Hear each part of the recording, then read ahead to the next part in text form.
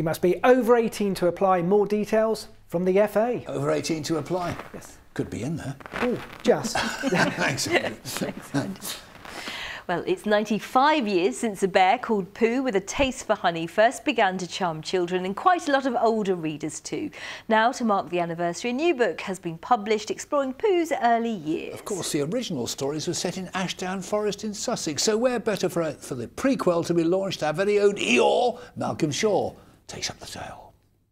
This stone continued Eeyore, marks the place where I once found a particularly fine thistle. Not far from the Hundred Acre Wood, fictional home of Winnie the Pooh, author Jane Riordan reads from her new work, Once There Was a Bear. Her audience are spellbound, as children have been by the stories for generations. Jane's book has been brought out to mark the 95th anniversary of A.A. Milne's first publication. I just think there's something so timeless about them. This is a world with no adults it's just children, toys, animals, whatever you would like to call them. Um, so there's an incredible freedom to, to those stories. Ashdown Forest was the country home of the author and his son, the real Christopher Robin. The distinctive landscape provided the perfect setting for his adventures. Fans of the stories still come from around the world to retrace their footsteps.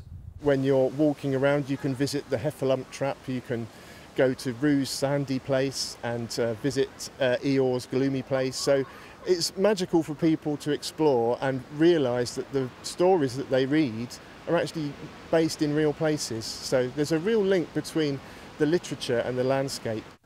I like Winnie the Pooh because he's very funny and I used to watch him when I was four or three. I love when Tigger like changes Eeyore into Tigger but himself. Then it was time for a little more storytelling.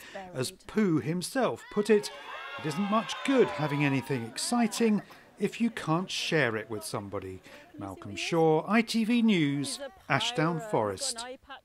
And from Winnie the Pooh to Philippa, the weather.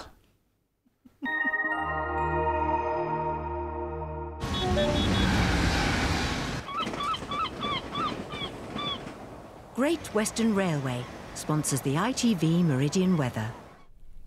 Hello there. It's been relatively quiet out there today, but the next few days look decidedly unsettled. More in the way of rain or showers heading our way, quite windy at times too, and with all of that, feeling pretty cool as well.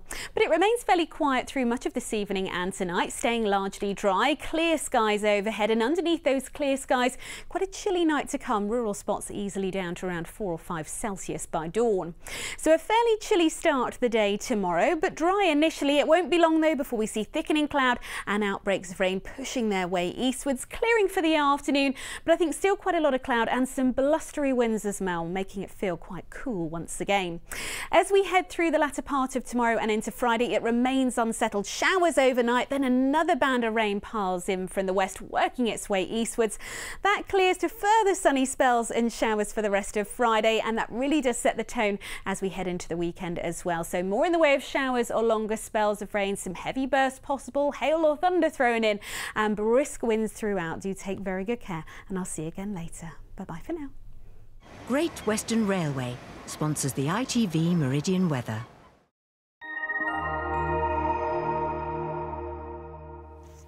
It is almost October. Well, coming up soon, the ITV Evening News with Mary Nightingale. Sangeeta's got our late news just after 10.30 this evening. Make a date to join her, won't you? But for now, from the team here at ITV Meridian, thank you for watching. Join us again tomorrow. Take care. Enjoy your evening. See you later. Bye-bye.